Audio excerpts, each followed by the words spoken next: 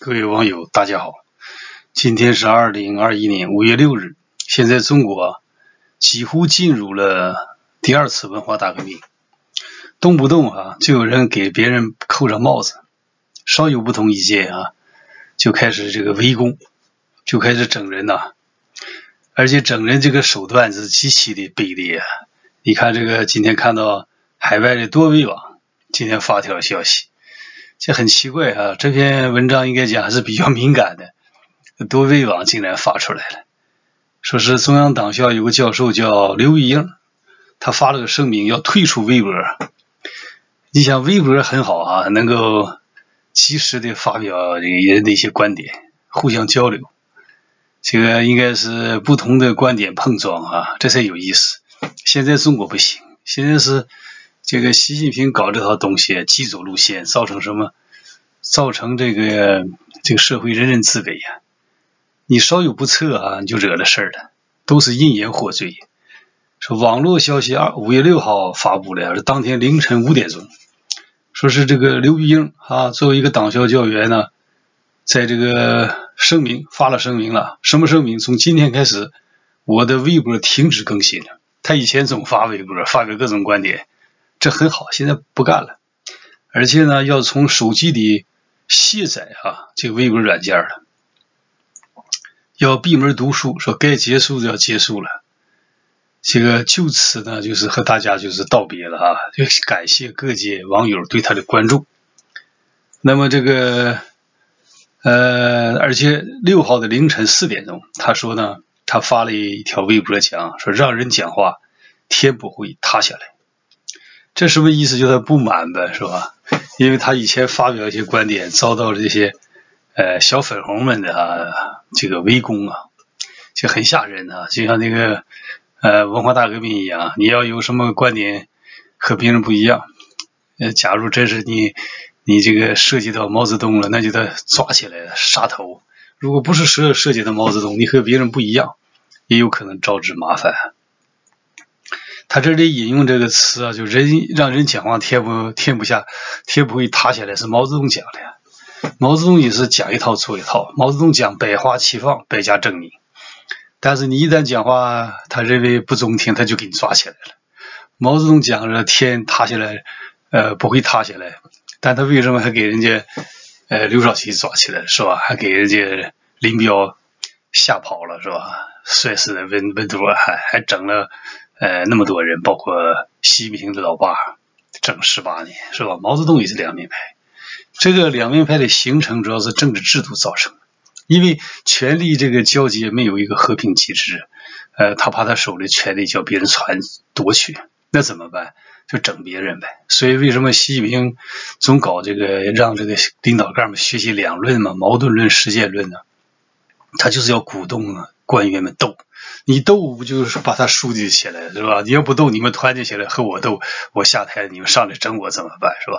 这是实际上是个政治体制的问题啊。说根据这个网络截图显示，就刘玉英是在五月三号，他发了个什么文章和加拿大有关系啊？这个我可以讲一讲。他讲到加拿大这个就是医疗啊，呃，医疗福利这个这个制度，他认为这个福利制度比较好啊。他说加拿大的医疗制度完全是全民平等。人人一张免费的医疗卡在手里，总理小土豆和种地的农民手里拿都是一样的医疗卡。看到这条消息，我想起前些日子看到一条布告的括括弧，享受副部级医疗待遇。他这对中国医疗制度表示不满啊！中国是搞特权，呃，按照这个领导人的官大小不同的级别。你看那高级领导干部有病以后，呃，就在高干病房整天赖着。也不也不回家，在里边有人伺候，天天啊，甚至发脾气等等。这个本人是太有体会了，过去在体制内工作十十八年，有很多老干部，你不常年都在高干病房里面，呃，那些护士啊，什么医生都围着他转。这是一种特权啊，是不公平的。加拿大没有这套东西，的确，他讲的是对的。这个加拿大的福利制度是一个人一个医保卡啊，这个卡拿着你去看病啊。呃，如果你收入比较高，你就是看病的时候检查费用不花钱，呃，给你看病各种设施啊，什么 X 光啊，什么呃，这个这个有一些透视啊，什么是吧？还有一些心电图、什么脑电图啊，反正是你医生给你开的，呃，应该检查的都不花钱，但是要排队，有的时候等很久，因为你不花钱人就多嘛，呃，这个效率比较低，的确是这样，也不能说是完美的啊，又有缺点。呃，家庭有些医生，家庭医生为了拿这个，呃，这个诊断的费用哈，他诊断你一个人三十块钱呢，那个一卡一扎三十块钱，三十块钱是公家拿哈，是纳税人拿。有些医生就呃草率从事，不负责任，也有这样，但大部分还是好的啊。呃，我我自己这个医生就非常好，不论男女老少，他都认真看。有的就是说 他三言两语，你哪儿不好啊？好。要什么药啊，就完事儿了哈。但是药是也是花钱的，呃，但是你如果收入少，你就可以有这这个请求这个补助哈，就免费，这都是这样。过了六十五岁了，就是呃到我这个年龄呢，你要也不要钱了，呃，但是我现在有的时候仍然付费用了，他不问我就给他付了，为什么？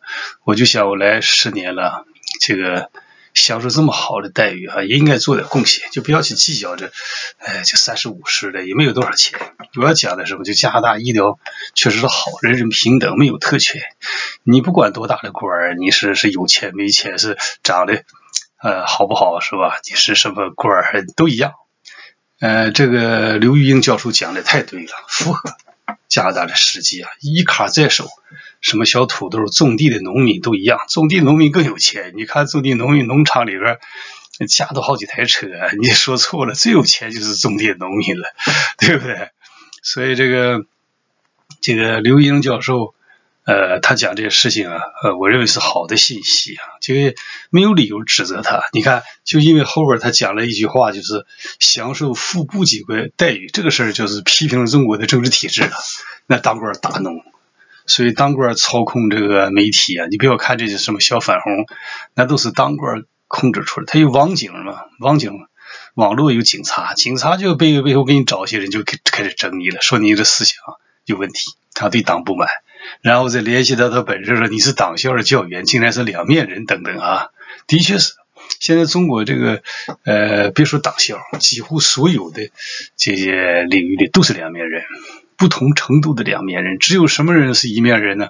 你手里有权的是一面人，你是真正拥护共产党，因为共产党这套对你有好处嘛，是吧？但是你只要一出事儿被抓起来双规，你马上变成两，又开始恨共产党了，出于自私，对不对？这个没什么奇怪的。